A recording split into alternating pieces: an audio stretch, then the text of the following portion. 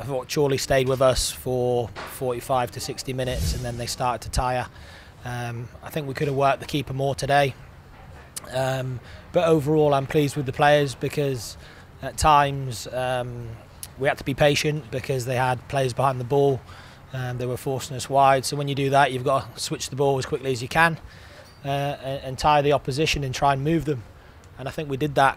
Um, we didn't create enough clear-cut opportunities, and we didn't work the keeper enough. But the experiences I've had in the FA Cup, the positive ones, when we've got you know to the third, fourth, fifth round, um, the journey's a rocky one, and you know you, you have trials and tribulations along the way.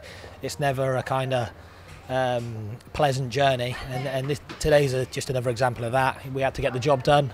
We've done that today, uh, so yeah, we're pleased to be in the hat.